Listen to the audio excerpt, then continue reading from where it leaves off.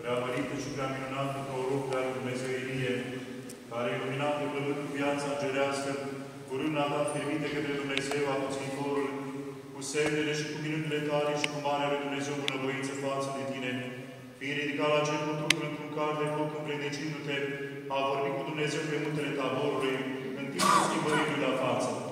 Acum să lășluind în locașul Raiului și stând în fața tronului Împăratului Ceresc,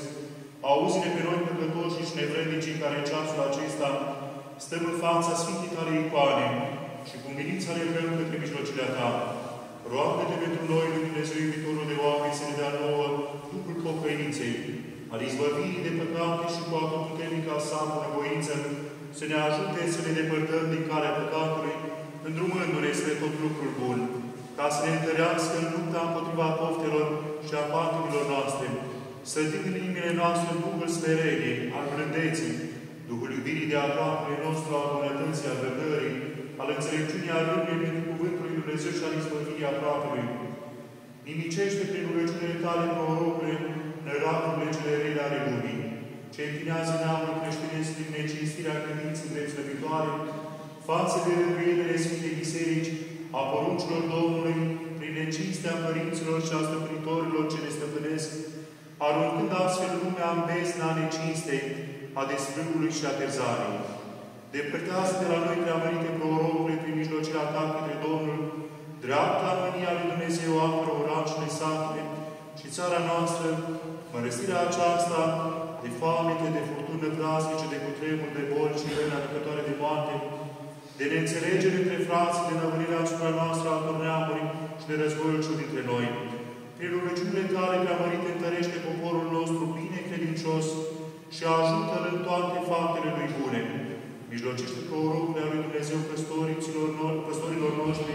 frână fierbinte către Dumnezeu, purtarea de grijă pentru mântuirea sufletească a păstoriților, înțelepciune purtarea de învățătură, cu cemicie și tărie listite, judecătorilor dăruiește nepărtinire și lepădare de pofta câștigurilor, dreptate și milă față de cei obișnuiți tuturor iubitorilor, purtare de grijă față de supuși, milă și dreaptă judecată iar necredincioșilor, supunere și ascultare față de conducători, cum și îndeplinirea cu săbuința tuturor îndatorilor lor, ca astfel în pace și cu cernicie, să petrecem veacul acesta, să ne învrednicim de împărtășirea bunătăților cele veșnice și împărăției lui Dumnezeu și a Mântuitorului nostru Iisus Hristos, care îi se cuvine cinstea și chinăciunea împreună cu Tatăl, cel fără de început și cu prea Sfântul Duh, acum și pururea și în vecii vecilor. Amin. Domnului să ne rugăm. Doamne, miluiește! Te cinstim pe tine, Părătului lui Dumnezeu Ilie, că prin râmna tacea într-o mărire lui Dumnezeu cel Atățitor, neputând de răbda să vezi închinarea la idol și nevegirea fiilor Israel, i-a încruntat pe regele Ahab, călcătorul de rege și pentru pedepsirea acestuia pe rugăciunea celui la Dumnezeu foc de trei ani pe pământ, pe pământul Israel, spre a îndepărta de idolii netrebnici pe cei ce se lăsau fără de legi și nedreptăți. Se întoarcă spre unul adevărat Dumnezeu, spre închinarea și plinirea Sfântul sale porunci. În timp de foamete prea minunate ai rănit pe văduva din Sareta Sidonului, iar pe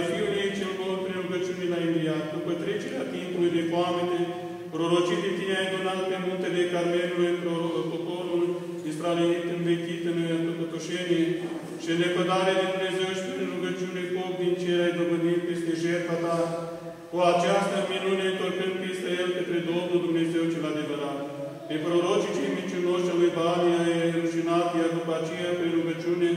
cerul iarăși ne deschis și ploaie multe pe pământ ai dobândit. Iar pe credincioșii din Israel ai umplut de bucurie către tine cu răpricite, Domnul Ilie cu milințe alergând noi păcătoși și smeriți, chinuiți de arșiță și de secetă,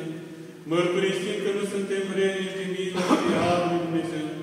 Mai curând suntem vrenici de dreptate, de amenințare asupra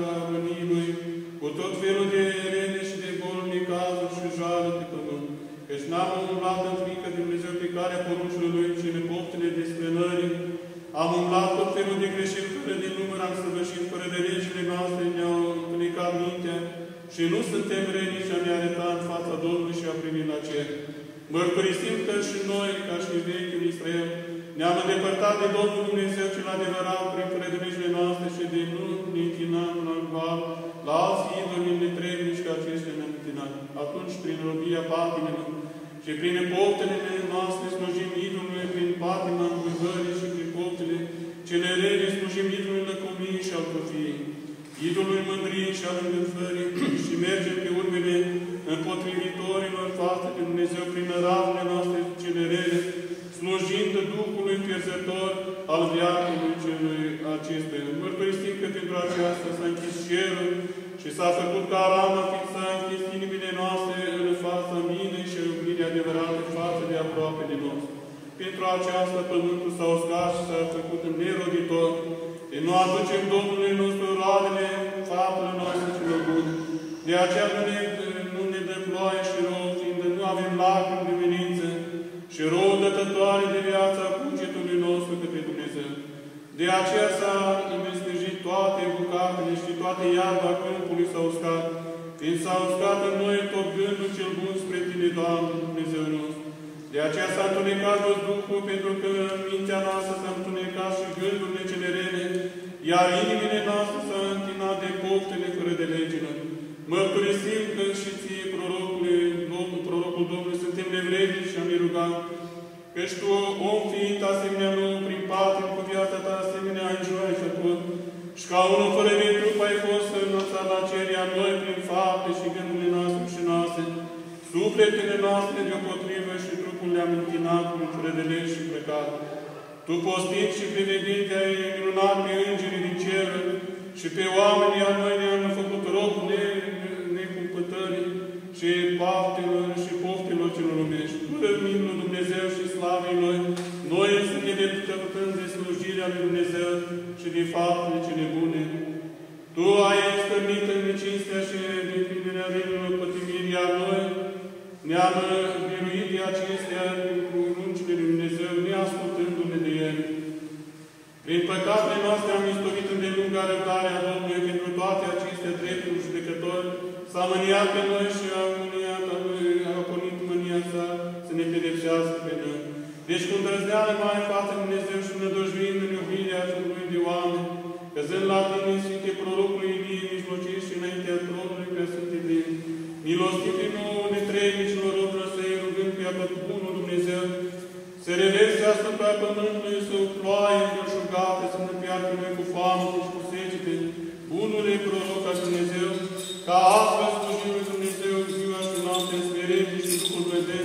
și al împrălării, al iubirii și al răbdării, al temei Dumnezeu și al bunii cinstii, ca astfel întorcându-ne la câinii de pierzere pe care ați avut însă umblând, slăvind de astfel numele Lui în cer, Tatăl, Fiul și Duhul Sfânt, până în veci, veci